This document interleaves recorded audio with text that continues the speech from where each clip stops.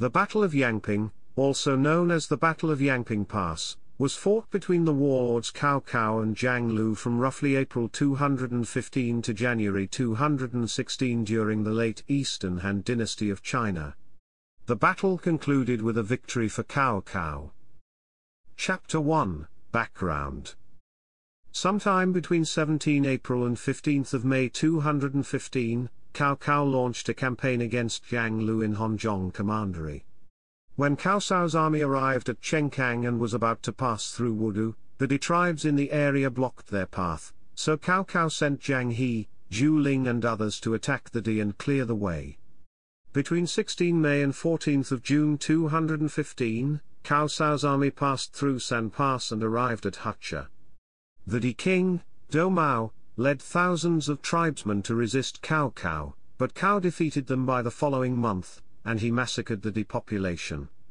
Qu Yan, Zhang Shi and other generals from Xiping and Jincheng commanderies killed Han Sui and sent his head to Cao Cao. Between 13 August and 10 September 215, Cao Cao's forces reached Yangping Pass after making a long and arduous journey through mountainous terrain.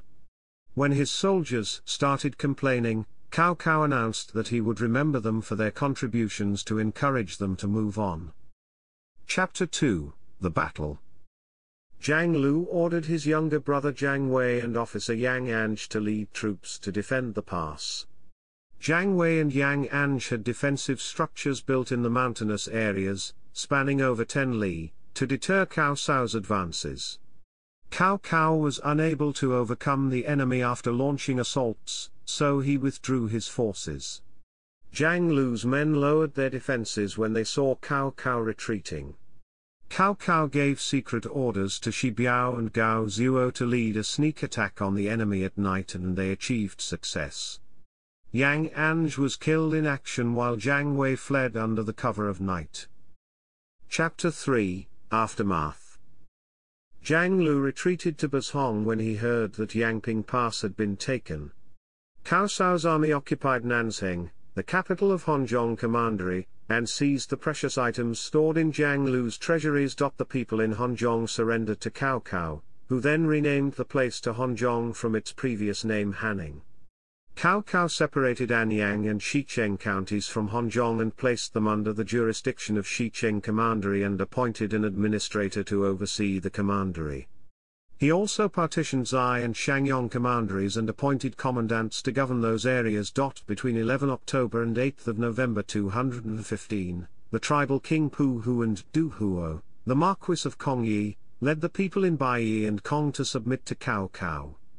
Cao Cao split Ba commandery into Badong and Baxi commanderies and appointed Pu Hu and Du Huo, who also received Marquis titles, as their administrators respectively. Emperor Xian also granted Cao Cao the authority to confer titles upon the nobles and officials in the area. Between 9 December 215 and 6 January 216, Zhang Lu led his followers out of Bazhong and came to surrender to Cao Cao. Cao Cao accepted their surrender and granted Marquis titles to Zhang Lu and his five sons.